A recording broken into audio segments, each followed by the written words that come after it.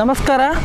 ಇವತ್ತು ನಾವು ಈ ಮುಳಬಾಗಿಲು ಪಟ್ಟಣದಲ್ಲಿ ಸುಮಾರು ಇಪ್ಪತ್ತ ಐದು ಜನ ನಮ್ಮ ಏನಂದರೆ ಹೆಚ್ಚು ಸಂಕಷ್ಟದಲ್ಲಿರ್ತಕ್ಕಂಥ ಮಹಿಳೆಯರಿಗೆ ಮತ್ತು ಅವರ ಕುಟುಂಬದವರಿಗೆ ಸಹಾಯ ಆಗಲಿ ಅನ್ನೋದು. ಸಾಲಿಡೇಟರಿ ಫೌಂಡೇಶನ್ ಮತ್ತು ಸಂಗಮ ಸಂಸ್ಥೆ ಎನ್ನುವ ಎರಡು ದಾನಿಗಳ ಸಂಸ್ಥೆಯಿಂದ ಇವತ್ತು ನಾವು ಸೌಖ್ಯ ಸಮೃದ್ಧಿ ಸಂಸ್ಥೆಯ ನಾನು ಯೋಜನಾ ನಿರ್ದೇಶ ವ್ಯವಸ್ಥಾಪಕರು ಮತ್ತು ನಮ್ಮ ನಿರ್ದೇಶನ ಮಂಡಳಿ ಸದಸ್ಯರು ಮತ್ತು ನಮ್ಮ ಸಿಬ್ಬಂದಿ ಎಲ್ಲರೂ ಸೇರಿಬಿಟ್ಟು ಇವತ್ತು ಇಪ್ಪತ್ತೈದು ಸಮುದಾಯದ ಮಹಿಳೆಯರು, ನಮ್ಮ ದಮನಿತ ಮಹಿಳೆಯರು ಮತ್ತು ಹೆಚ್ಚು ಆರೋಗ್ಯದ ತೊಂದರೆ ಇರತಕ್ಕಂಥ ಮಹಿಳೆಯರಿಗೆ ಒಂದು ಸುಮಾರು ಪ್ರತಿಯೊಬ್ಬರಿಗೂ ಸಾವಿರದ ಐದುನೂರು ಮೊತ್ತದ ಒಂದು ದಿನಸಿ ವಿ ಅನ್ನು ವಿತರಿಸ್ತಾ ಇದ್ದೀವಿ. ಕೋವಿಡ್ ಲಾಕ್ಡೌನ್ ಏನಾಗಿದೆ?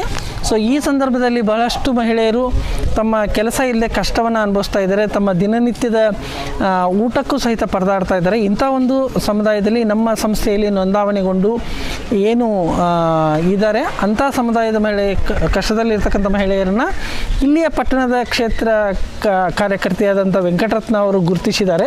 ಸೊ ಅಂಥ ಮಹಿಳೆಯರಿಗೆ ನಾವು ಈ ದಿನ ಒಂದು ಪ್ರತಿ ಒಂದು ಮಹಿಳೆಯ ಕುಟುಂಬಕ್ಕೆ ಸಾವಿರದ ಐದುನೂರು ರೂಪಾಯಿದ್ದು ದಿನಸಿಯನ್ನು ವಿತರಣೆ ಮಾಡ್ತಾ ಇದ್ದೀವಿ ಸೊ ಈ ಒಂದು ಕಾರ್ಯಕ್ರಮದಲ್ಲಿ ನಮ್ಮ ನಾನು ರುದ್ರೇಶ್ ಹುಣಸಾಳ್ ಯ- ಯೋಜನಾ ವ್ಯವಸ್ಥಾಪಕರು ಮತ್ತು ನಮ್ಮ ನಿರ್ದೇಶಕರಾದಂಥ ಅಕ್ಕಮ್ಮ ಅವರು ಮತ್ತು ಸುಕನ್ಯಾ ದೇವಿಯವರು ಮತ್ತು ಬೇಬಿ ಎಂ ಅವರು ಮತ್ತು ಕ್ಷೇತ್ರ ಕಾರ್ಯಕರ್ತರಾದಂಥ ಔಟ್ರೀಚ್ ವರ್ಕರ್ ವೆಂಕಟರತ್ನ ಅವರು ಮತ್ತು ನಮ್ಮ ಪ್ರಸಾದ್ ಅವರು, ಇವರೆಲ್ಲರೂ ಒಟ್ಟಿಗೆ ಕೂಡಿ ಈ ಒಂದು ಒಟ್ಟಾರೆ ನಮ್ಮ ಕೋಲಾರ ಜಿಲ್ಲೆಯಲ್ಲಿ ಇನ್ನೂರು ಎಂಬತ್ತು ಕಿಟ್ಗಳನ್ನು ವಿತರಣೆ ಮಾಡ್ತಾ ಇದ್ದೀವಿ.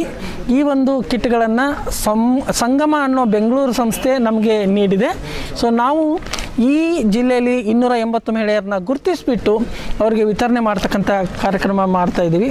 ಸೊ ಈ ಒಂದು ಕಾರ್ಯಕ್ರಮದಲ್ಲಿ ಏನೇನು ಕೈ ಜೋಡಿಸಿದೆ ಸಾಲಿಡೇಟರಿ ಫೌಂಡೇಶನ್ ಆಗಿರ್ಬೋದು, ಆಮೇಲೆ ಸಂಗಮ ಸಂಸ್ಥೆ ಆಗಿರ್ಬೋದು, ನಮ್ಮ ಸೌಖ್ಯ ಸಮೃದ್ಧಿ ಸಂಸ್ಥೆ ಹಾಗೂ ನಮ್ಮ ಅಧ್ಯಕ್ಷರಾದಂಥ ವೈ ಎಸ್ ವೀನಾ ಅವರು ಉಳಿದಂಥ ನಿರ್ದೇಶಕರು, ಸಿಬ್ಬಂದಿಗಳಿಗೆ ಏನು ಕೆಲಸ ಮಾಡ್ತಾಯಿದ್ರಿ ಎಲ್ಲರಿಗೂ ಒಂದು ಧನ್ಯವಾದಗಳನ್ನ ಈ ಒಂದು ಕಾರ್ಯಕ್ರಮದ ಮೂಲಕ ಅರ್ಪಿಸಲಿಕ್ಕೆ ನಾನು ಬಯಸ್ತಾ ಇದ್ದೀನಿ. ಥ್ಯಾಂಕ್ ಯು ಎಲ್ಲರಿಗೂ ನಮಸ್ಕಾರ. ನನ್ನ ಹೆಸರು ವೆಂಕಟರತ್ನ ಅಂತ. ಮುಲ್ಬಾಲ್ ತಾಲೂಕಲ್ಲಿ ಮುಲ್ಬಾಲ್ ಟೌನಲ್ಲಿ ಔಟ್ರೀಚ್ ವರ್ಕರಾಗಿ ಕೆಲಸ ಮಾಡ್ತಾಯಿದ್ದೀನಿ ನಾನು ತಾಲೂಕು ಲೆವೆಲಲ್ಲಿ ಟೌನ್ ಲೆವೆಲಲ್ಲಿ ಎಷ್ಟು ಜನ ಮಹಿಳೆಯರಿದ್ದಾರೋ ಅಷ್ಟು ಜನಕ್ಕೂ ನೀಡಲಿಕ್ಕೆ ಅವಕಾಶ ಇಲ್ಲ.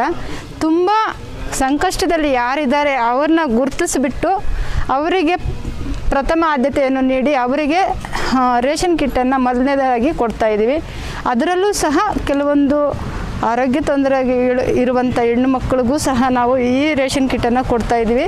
ಯಾ, ಯಾವುದೇ ರೀತಿ ಹೆಣ್ಣು ಮಕ್ಕಳು ಭೇದ ಭಾವ ಮಾಡಬಾರ್ದು ಅವ್ರಿಗೆ ಕೊಟ್ಟಿದ್ದಾರೆ, ನಮಗೆ ಕೊಟ್ಟಿಲ್ಲ ಅನ್ನೋವಂಥ ಉದ್ದೇಶವನ್ನು ಇಟ್ಕೋಬಾರದು.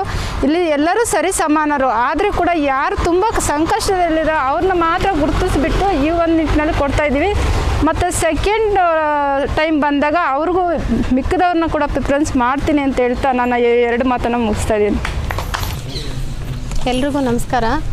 ಇಂತಹ ಈ ಕರೋನಾ ಟೈಮಲ್ಲಿ ನಮ್ಮ ಸೌಖ್ಯ ಸಮುದ್ರ ಸಮೃದ್ಧಿ ಸಂಸ್ಥೆಯಿಂದ ನಮ್ಮ ರುದ್ರೇಶ್ ಸರ್ ಅವರು ಬಹಳ ಇದು ಕಷ್ಟ, ಕಷ್ಟದಲ್ಲಿರುವಂತಹ ನಮ್ಮಂಥ ಹೆಣ್ಣುಮಕ್ಕಳಿಗೆ ಇಂತಹ ಸಹಾಯ ಮಾಡ್ತಿದ್ದಾರೆ ಅಂತ, ಅಂದರೆ ನಮಗೆಲ್ಲ ಬಹಳ ಸಂತೋಷವಾಗ್ತಾ ಇದೆ.